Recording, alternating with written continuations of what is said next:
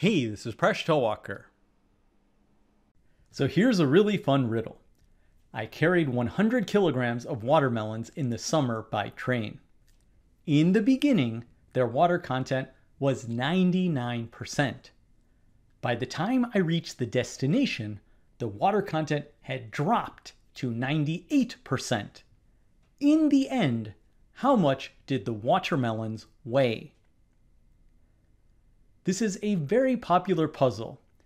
A version of it appeared on an exam in India called the KVPY, and I wouldn't be surprised if it appeared in many other places, like other exams or even technical interview questions. You may also have seen this puzzle in terms of potatoes instead of watermelons, but nonetheless, the mathematics are the same. So I return to the original problem. In the end, how much did the watermelons weigh? Pause the video if you'd like to give this problem a try. And when you're ready, keep watching to learn how to solve this problem. So at first glance, this puzzle seems like a piece of cake. Ha ha ha, what's the big deal? The answer is easy. The watermelons obviously weigh 99 kilograms. So if someone gives this answer, you might ask, how did you reason? So here's how the reasoning often goes. Well, the water content was 99% in the beginning. In the end, the water content dropped to 98%. So that would be a loss of 1% of water. The weight at the beginning was 100 kilograms, so a loss of 1% of 100 will be 1 kilogram. Therefore, the final weight will be 99% of 100 kilograms, which equals 99 kilograms. Piece of cake. So unfortunately, this intuitive answer of 99 kilograms is wrong. Not only is it wrong, it's not even close to the answer. But don't worry if you got the wrong answer, you're in very good company. A blog post by Cambridge Coaching explains that this puzzle was given at a barbecue with several masters and PhD scientists, and they all came up with the wrong answer of 99 kilograms. The post wondered how can several people, most of whom have a PhD in science or at the very least a master's in it, get this wrong? They weren't even close to the correct answer. They were really off. I mean, these are smart, accomplished people, and I'm not saying that just because they are my friends. What's more interesting is that when told their answer was wrong, and after spending a few minutes thinking about it, everyone got the right answer. So, what is the right answer? It is 50 kilograms. You lose a surprising half of the weight when the water content drops from 99% to 98%. So, since the answer is so surprising, Let's work out carefully why the answer is 50 kilograms. I'll explain a few different methods, so let's get started with one. So in the beginning, there's 100 kilograms of weight. We know that water is 99% of this weight, which means that 99 kilograms is water and the remaining 1 kilograms is other weight. You could call it dry weight. Now what happens at the end? We don't know the weight at the end. That's what we want to solve for. But we do know the water content is 98%. What else do we know? We know that the water evaporates, but the one kilogram of other weight has to remain the same. So we take this one kilogram of other weight and we bring it to the end. So now let's imagine that the final weight was 99 kilograms, as everyone initially thinks. So, what would happen if it were 98% water by weight? 99 times 0.98 is equal to 97.02. Let's just round that to 97 kilograms. So, in this case, we actually end up with a contradiction. If we sum up the weight of 97 and 1, we get a total of 98 kilograms. But wait, we said that the total was supposed to be 99 kilograms. So it's not possible that the weight is 99 kilograms. This would create a contradiction.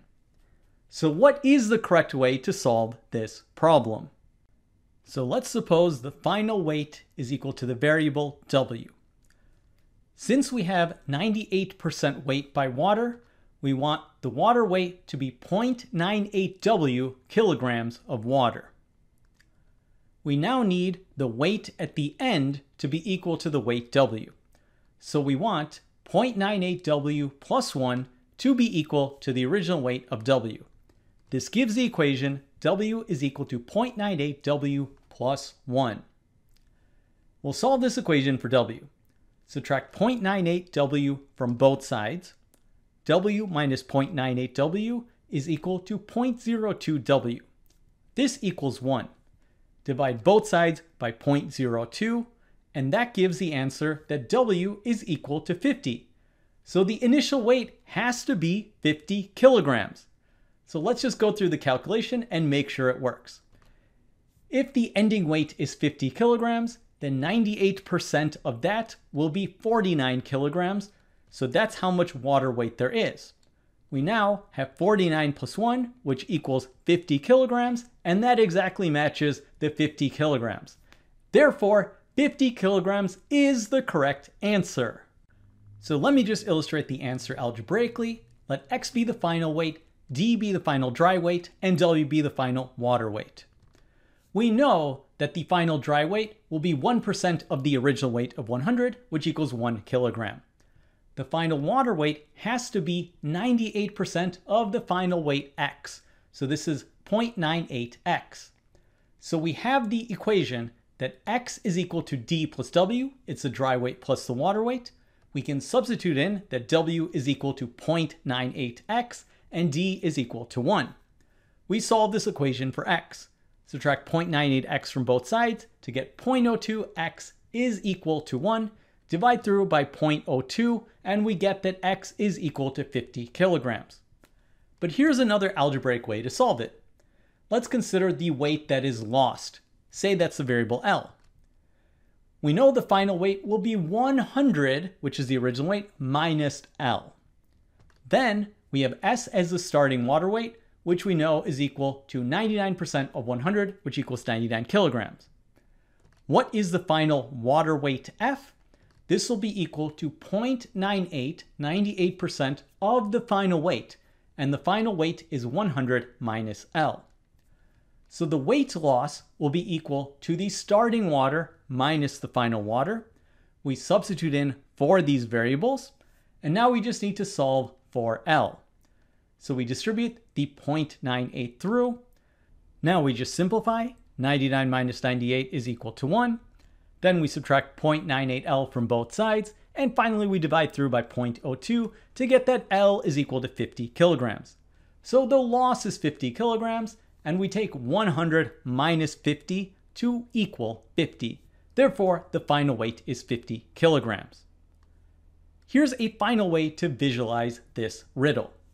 We have a 100 dots that represent a 100 kilograms. We know that 99% is water weight, so that would be 99 dots. So the remaining one dot would represent the dry weight. So we have 99% as the water weight and 1% as the dry weight.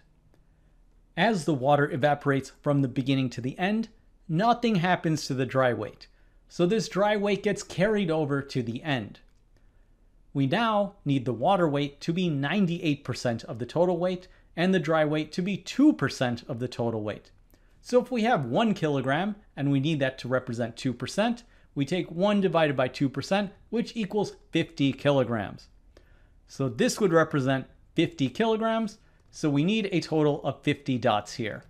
And this represents a visual way to see that we have 50 kilograms in the end.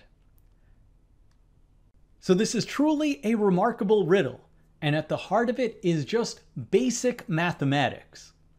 So I hope you share this puzzle with others, and you'll be surprised to see how many people are not able to get the answer at first guess. But I want to prepare you for one more situation. The very person who did not get the puzzle correct will then come at you with, well, this isn't a true paradox after all. You call it the watermelon paradox or the potato paradox. it's not a contradiction at all. This is just a surprising result. Well, let me tell you, this is what's known as a veridical paradox, which is a result that is absurd or counterintuitive, but is actually correct. Therefore, it is appropriate to apply the term paradox to it. And if you have any objection to that, just take it up with Wikipedia. Thanks for making us one of the best communities on YouTube. See you next episode of Mind Your Decisions, where we solve the world's problems, one video at a time.